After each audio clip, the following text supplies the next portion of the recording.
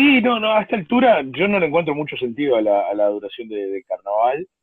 Será porque me crié viendo un carnaval a, digamos, con la duración de dos ruedas que transcurría en febrero.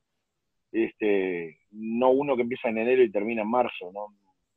Eh, por otro lado, lo he hablado con, con gente dueños de escenarios y demás que te dicen, mirá, esto pone, porque se dice, bueno, cuanto más largo, más negocio. Te dicen, esto negocio hasta el 15, 20 de febrero. Pues todo el resto es suerte, a remar. De hecho, obviamente, escenario privado, ¿no? Claro. De hecho, te, pasó saliendo en Patos Cabreros y teniendo otros trabajos, ¿no? La mañana, que por ejemplo el Canal 4, que, oh. supone, ¿no? El hecho de, estar en un programa periodístico, o sea, un magazine, ¿no? Que tenés desde un actor, un político, tenés, tenés activo. Y es levantarte al otro día, acostarte, mejor dicho, al otro día, o no acostarte, no sé cómo es un poco ahí la, se congenia Tuve eso. de todo, tuve de todo, es decir, este, el año que salí en Los Muchachos, estoy seguro que hice una nota dormido, pero de ojos abiertos. Eh, que yo estaba en el estudio, físicamente yo estaba en el estudio y, dialogaba con alguien, pero no sabía quién era ese alguien, ni por qué estaba ahí, ni, ni, en fin, no, era muy bravo y sí, obviamente, días que... Me acuerdo un año con los Diablos, que, estaba, que yo tenía una nota coordinada con Julio Boca a primera hora de la mañana, yo estaba en Telemundo, en el año 2011. Entonces ponele que, digamos, la nota era a las 8 de la mañana, con Julio Boca. Y, y, me había costado, me había llevado un tiempo coordinarla, ¿no? Y claro, ya era este, 28 de febrero, por ahí, 2 de marzo. Y nos toca liguilla la noche anterior. Y vos, digamos, vos todavía estás con toda la, euforia. Yo había coordinado la nota sin saber, digamos, el, sorteo, digo, no, teníamos... La brillantina todo el día anterior.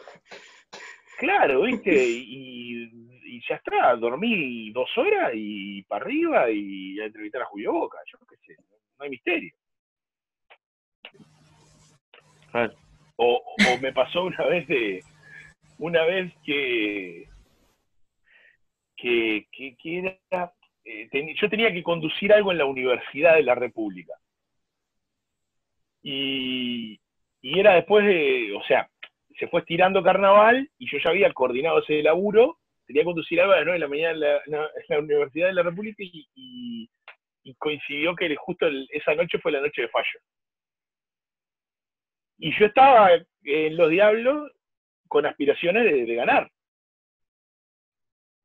Y entonces salimos cuartos, ganó la trasnochada, y obviamente las primeras horas estás ahí masticando bronca, ¿viste? Porque está, Primera persona que llego, llego a la universidad, primera persona que me cruzo, Alejandro González, de la trasnochada.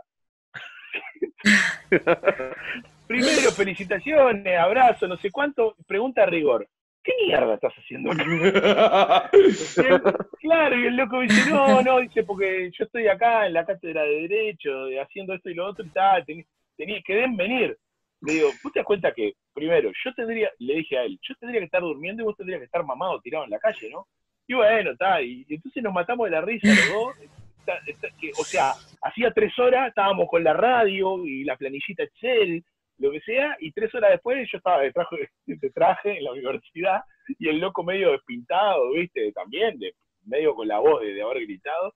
Y son esas cosas que ta, te quedan ahí, de hacer convivir la, actividad con, esto, con, carnaval, que tiene, lleva un sacrificio de, de, mil demonios. Pero bueno, como ahora no tengo que madrugar expresamente, mis hijos están un poco más grandes, este, puedo también pararme desde otro lugar y, bueno, y, si, Jardín de Pueblo clasifica, tratar de, vivir el carnaval de otra manera. Va a ser un carnaval de otra manera. Pues.